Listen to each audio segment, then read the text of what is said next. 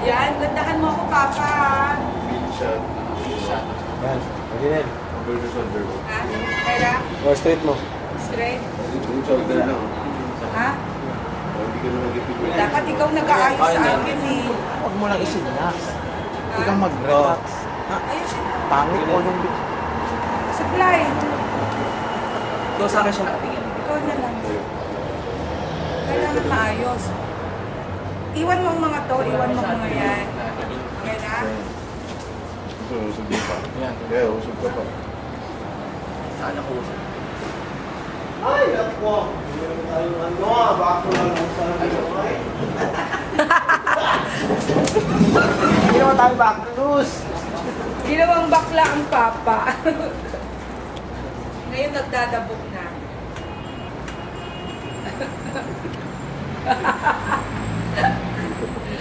Pakaliwanag. Pakaliwanag.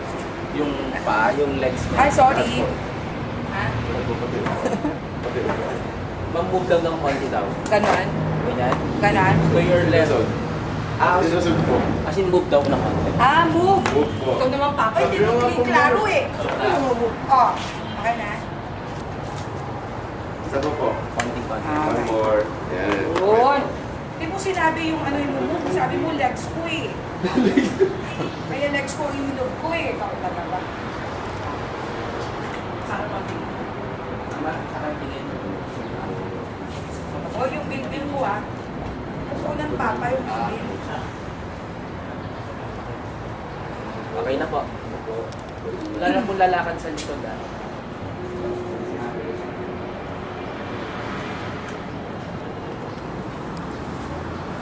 Parang ang layo nang nag-interview sa akin. Hindi ako sanay na sobrang ang layo. Pero yung shot niyo po ano? Ay, di ba, di ba ako masyadong malayo? Ah, okay lang.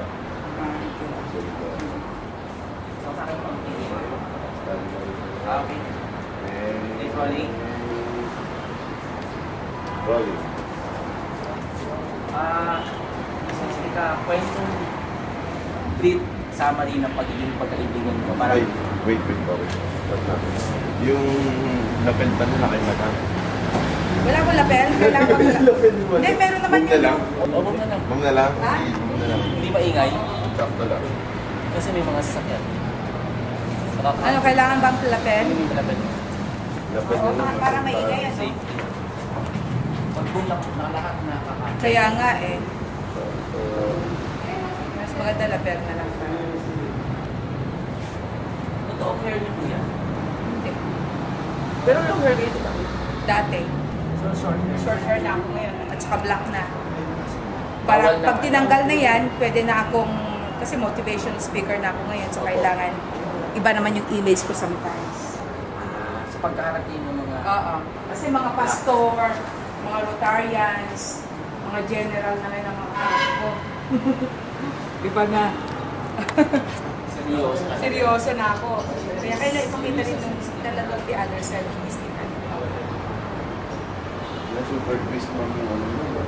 Sobrang twist. Oh, sobrang twist nga. 360 ka agad. Oo. Kasi pagbalik ko dito, gusto nila ibalik ulit yung dati sa Pilipinas. Graduate na ako doon. Pero we, we do ano pa rin, is uh, singing and Oh, I still do singing, dancing. Pero mang gospel. Hindi naman. Hindi gospel, hindi. Kung ano pa rin, nagbibiruan pa rin. Nakikipagbiro pa rin ako. Naughty pa rin. Kaya lang yung pananamit, toned down na. Para at least na iba na. Ginagawa ko pa rin yung dati. Kasi ano nangyari sa mga damit niya? Ha? Wala na. Iniwan ko na lahat. Ewan ko na sana sila. Nabagyo na. Binagyo na. Nasa province lahat.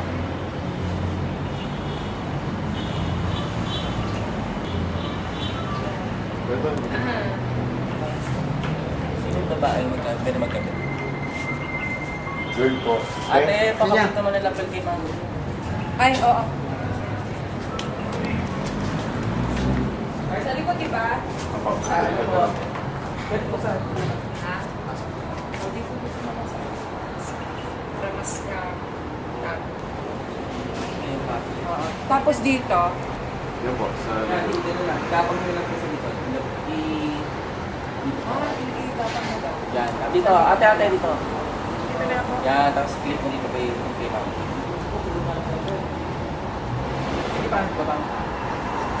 Yan, clip mo dyan sa... Tapos towards sa mga Towards mo. Tapos yung cable natin.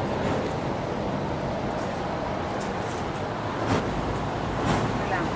Number na ito.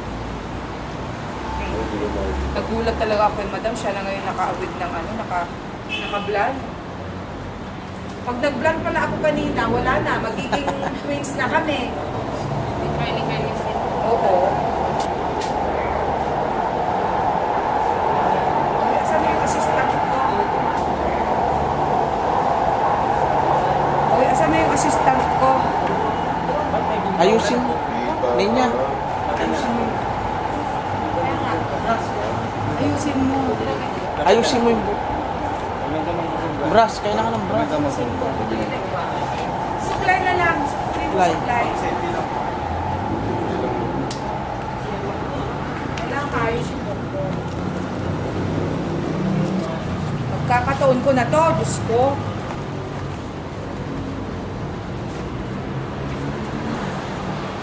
O baka mamaya mahugot ha.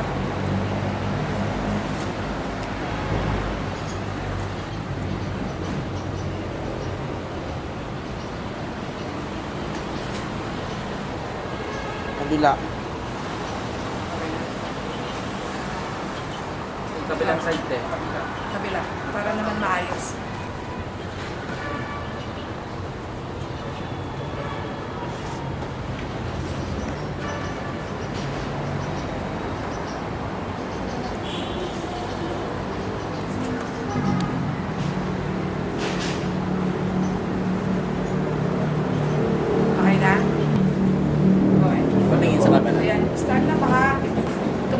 Yung pawis ko. Okay na? Okay na. Na siya pa kaliwa. Ako, ako. Ma'am Mystica, briefly summary ng inyong pagiging pagkaibigan ni Madam Pao. Paano kayo nagkakilala? Paano kayo naging mag-best friend? Bali, we started as enemies. Para kasi kaming mga nag-aagawan ng eksena dati, ganon. Tapos, dahil sa mga intri-intriga, napilitan akong pumatol na rin. Kasi ayoko naman na ako na lang yung, ano, di ba, yung parang inaapakan hanggang sa, sabi ko, kailangan patulang ba yan? Eh, ano, yung para bang, sabi ko, para bang nile-level ko naman yung sarili ko, eh, siya, hindi naman siya singer para i-ano sa amin. Pero sabi ko, she's a character. Ano naman, di ba? A character din ako. Ah, sige, sige, sabi ko. So ngayon, dahil nga sa mga nagkaroon kami mga intriga noon, para kami mga aso pusa. So, dahil nga agawan ng eksena yan, hanggang sa lately na lang, para bang na-realize ko na I have to understand her. Sabi ko, kung may mga pagbibiruan kami tapos dinala na sa dinala niya kasi sa ano eh, yung para bang nag-over the limit eh. Kung baga sa ano, biru-biruan lang, tapos tinutuhanan niya, katulad yung sakitan, katulad yung sabunutan, ganon. Eh nagkataon lang naman na para bang, ah, para bang biru-biruan lang noon na sabi ko, tingnan nga natin ano magiging reaction niya, ganun ganyan. Eh ako kan pumatod naman kasi ako, at hinalikan ko yung boyfriend niya sa harapan niya, so doon nag-start yung awayan namin.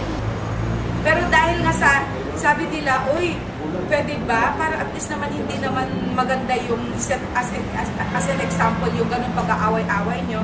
Kaya pwede bang magkabati na kayo? So dinala kami sa isang programa. Start Talk ata yun, o kaya sa, ano nun, sa S-Files. So doon kami nagkabati. So ever since, nagkaroon na kami ng friendship na talagang hindi na kami, para bang hindi na kami ma, ano, ma, ma-separate. So hanggang sa pumupunta na kami sa Laguna, magsiswimming, o kaya ballroom, o kaya pupunta kami sa mga sing-alongan, mga ganon. Pero hindi pa rin maiwasan talaga yung, of course, di ba?